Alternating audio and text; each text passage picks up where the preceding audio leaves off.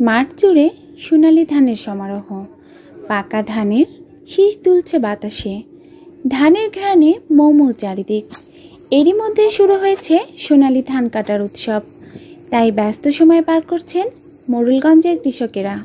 একটাই ফসল আমন ধানের উৎপাদন করিতে- করতাম, কিন্তু সেটা ভালো হইতো না। কিন্তু এখন বর্তমানে কৃষি অফিসারের উন্নত পরামর্শে আমরা এই ইরি ধান ফলন ফলাইতেছি এবং সর্বশেষ একটাই সংকট আমাদের পূর্ণ খাল খনন না করলে আমরা পানির অভাবে পানি দিতে পারতেছি না। একটা ফসল পাইতাম আগে আমন ধান এখন আমরা এবছর ইরি চাষ করে আমরা অনেক লাভবান হয়েছি।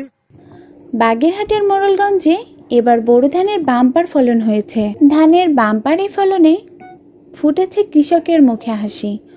উপজেলার দেবরাজ খারৈখালী পঞ্চকরণ কুমারিয়া জোলা গ্রামের শতাধিক কৃষক একশো পঞ্চাশ হেক্টর জমিতে বিভিন্ন জাতের বোরো ধানের উৎপাদন করেছে।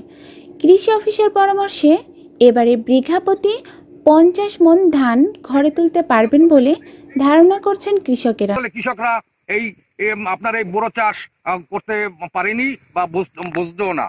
এবছরে তাদেরকে কৃষি অফিসের মাধ্যমে এবং আমার পরামর্শে তাদেরকে এই বোরো চাষের জন্য তাদের পরামর্শ দেওয়া হয়েছে, প্রশিক্ষণ দেওয়া হয়েছে এবং আমরা অফিস থেকে যেভাবে যতটুকু পারছি আমরা সার বীজ তাদেরকে সহায়তা করছি। যে কারণে এই এলাকায় আজকে কৃষকের মুখে হাসি পড়ছে প্রধানমন্ত্রী নির্দেশ ক্রমে এক ইঞ্চি জমিও যাতে পতিত না থাকে, সেই উদ্যোগে আমরা এলাকাবাসী সম্মিলিতভাবে চাষিদের ডেকে এবং কৃষি কর্মকর, সহকারী কর্মকর্তা সহ উদ্যোগ দিয়া, সহযোগিতা করিয়া চাষিদের উৎসাহিত করে আজকে ভীষণভাবে এই ইরি ফলন ফলানো হয়েছে।